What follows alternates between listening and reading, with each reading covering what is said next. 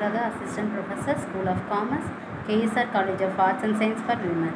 We are discuss about the topic of modern banking, the evaluation of banking, exploring the advanced features and mechanisms of modern ATMs. Introduction Modern ATMs have come a long way since their inception with advanced features such as cash and check deposit, bill payments, and account transfers. ATMs have become a vital component of the banking industry. This presentation will explore the evaluation of banking through the lens of modern ATMs. The history of ATMs. The first ATM was installed in 1967 in London.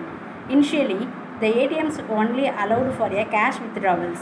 Over the years, new features such as check deposits, account transfers, and bill payments have been added. Today, ATMs are central to banking operations. Advanced features of modern ATMs. Modern ATMs offer many advanced features. Cash and check deposits can be made 24 by 7 and many ATMs allow multiple checks to be deposited at once. Account transfers and bill payments can also be made at the ATM. Cardless ATM transactions are also becoming more popular. ATMs and security. ATMs are designed with security in mind.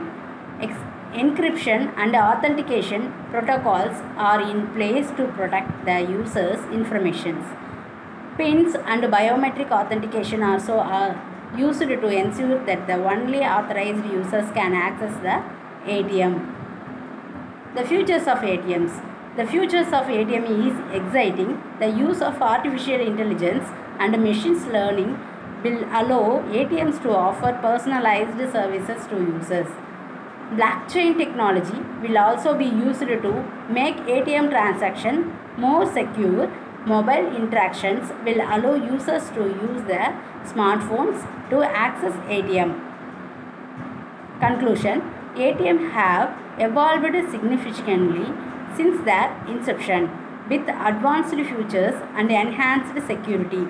ATMs have become a vital component of the banking industry. The futures of ATMs is exciting and will continue to evolve with new technologies and innovative futures. Thank you for watching.